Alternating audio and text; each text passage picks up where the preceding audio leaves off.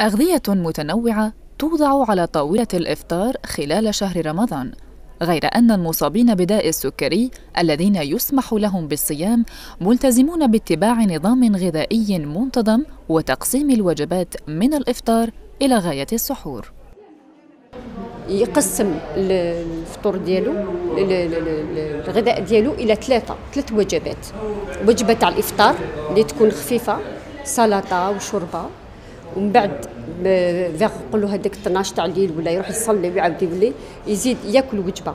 ياكل تما هذاك الوجبة تاع دو يكون يعني فيها ممكن تكون فيها سكريات وكمان من بعد يأخر السحور ويشرب بزاف الماء pour éviter la déshydratation لا يخلو شهر رمضان من الحلويات وبالمقابل لا يمنع الأطباء المصابين بداء السكري من تناول بعض منها شريطة الالتزام ببعض الإرشادات. اهميه وجبه السحور هي مهمة جدا. ندخلوا السكر يعني بعض الامتصاص باش يشد لنا آه يشد لنا الجوع باش يكون عنده وقاية يعني انخفاض سكر الدم مثل الطعام اللي ياخذه أغلب الناس يعني ماشي ممنوع كمية معتدلة. وزائد يعني مشتقات الحليب كان حليب أو لبن أو رايب. الإنسان عنده مرض السكري السكر تاعو نوعا ما نوعا ما أثناء الأذان السكر تاعو نوعا ما شوية حامض حبة مرش عليه.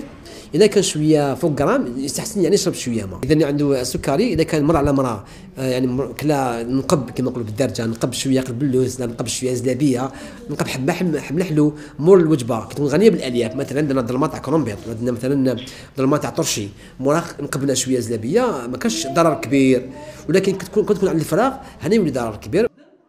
المرضى المصابون بالسكري من النوع الثاني ملتزمون بتنظيم الوجبات واختيار الأغذية المناسبة للحفاظ على معدل سكر معتدل بالدم طيلة شهر الصيام.